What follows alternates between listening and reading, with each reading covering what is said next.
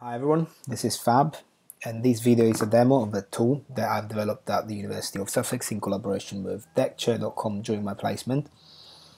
The problem we had was to select only the interesting pictures within a certain given dataset, that in this case was a 2000 pictures dataset containing shots from a week time from a hotel in, in front of the London Eye and of course the pictures contain grey sky, sunset, any sort of landscape from a fixed location. The result we want to obtain is the following, so we just want to end up with pictures shot at a sunset time or sunrise time or during the dawn. We're gonna delete this directory now, it's called SSIM unfiltered. so we're gonna do this again. So we're gonna filter our images first using this timestamp filter on pipe we're using a config file that I'm going to talk about in a moment. And once we've selected our images, we run this test called SSIM test.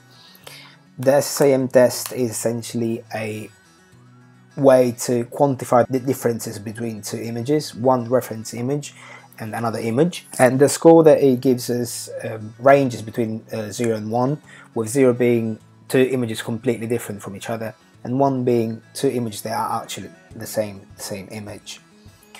So we end up with only 25 images that are the image that I've shown you already.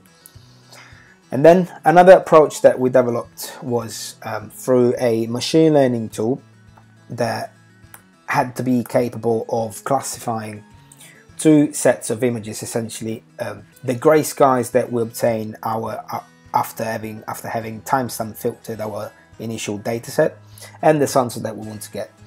So we already trained a support vector machine for this using uh, images of grey skies and sunsets scraped from um, Google Images. We've already trained our network.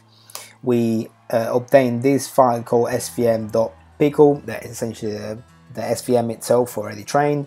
So we can just run python um, label .py-c config and we obtain um, a JSON file, which is essentially a dictionary containing um, as a as a key the file name of the image that we that we want to classify, and then as values another dictionary which has the actual predictions for the labels that we've trained on, which in this case are grey skies and sunsets. And now you can further select your final data set, just looking at the score for this sunset, for example. So just a few words on some technicalities, like um, how we run all the scripts that we've run. We have a simple config file that can be edited by the user.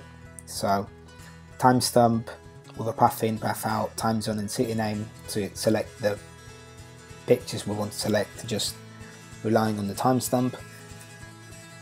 Then we have a SSIM section for the structural similarity index score. Here we chose a grey sky image, which is the following,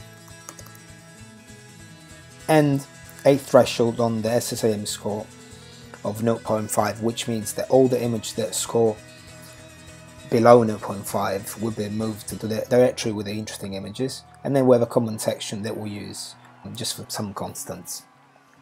So this is how it works. Thanks, thanks for watching.